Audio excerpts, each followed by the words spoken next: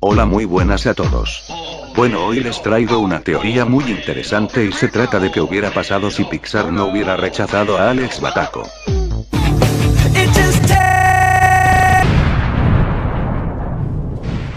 Y bueno esto empieza en el punto donde Alex hace una animación toda pitera de un monigote tocando una guitarra acústica que suena como eléctrica.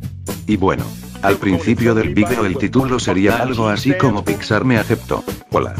Y al participar en el concurso de Pixar, sería de los afortunados en ir al curso de Pixar y participar en las películas más recientes del estudio.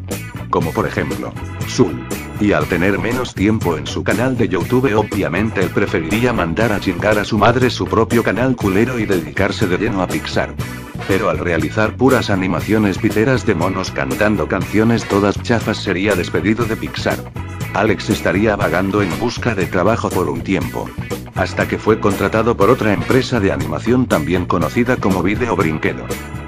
Video Brinquedo queda impresionado con la habilidad de animación de Alex, comenzaría a trabajar en proyectos millonarios como Oscarrinos 2, Ratatouille y Buscando al papá de Nemo. Y bueno eso ha sido todo mis chichonas, espero les haya gustado y si es así recuerden dar su dislike en el like y suscribirse en de suscribirse en denunciar. Hasta la próxima.